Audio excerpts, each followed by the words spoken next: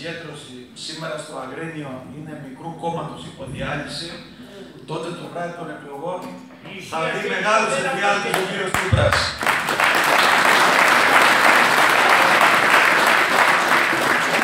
Ξέρετε, τα μίντια κάνουν μια προσπάθεια, τουλάχιστον τα κυβερνητικά, να αποδείξουν ότι έχουμε αποδομηθεί, ότι δεν υπάρχουν. Αλλά πριν τρεις μέρες ήμουν στην Καβάλα, ανάλογη συγκέντρωση. Το προηγούμενο διάστημα σε άλλες περιοχές της Ελλάδας, ανάλογες συγκεντρώσεις. Η άποψή μου είναι ότι υπάρχει πολύ μεγάλο περιθώριο το βράδυ των εκλογών, είτε είναι οι ευρωπαϊκές πρώτα είτε οι εθνικές, να γίνει ένα μεγάλο πρώτο βήμα.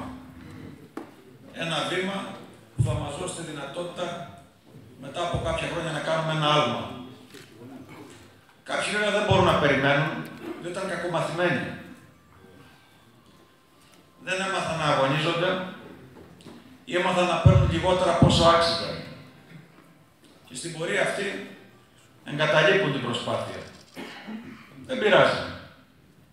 Όλοι κρινόμαστε για το τι κάναμε, αλλά και για το τι δεν κάναμε.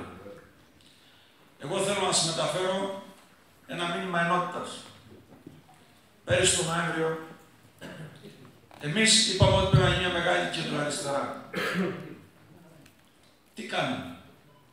Εξαγοράσαμε στελέχη άλλων κομμάτων; Στήσαμε παρασυνιακές διαπραγματεύσεις; Όχι βέβαια.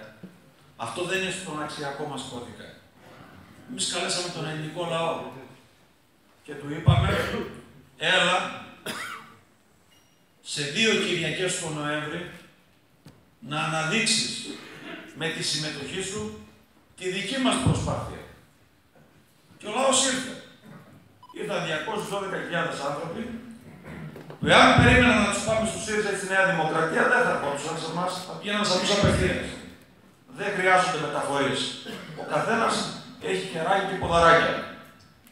Ήρθαν όμως σε εμάς, περίμεναν στις ουρές, μας τίμησαν και με τη συμμετοχή τους κατέθεσαν την αγωνία τους και την ελπίδα τους ότι θα τους σεβαστούμε και ότι θα διαμορφώσουμε μια παράταξη που θα τους εκφράσει και σε εκλογές θα κάνει ένα βήμα προόδου σε σχέση με τα ποσοστά τα οποία είχαν καταρρεύσει από το καλοκαίρι του 2012.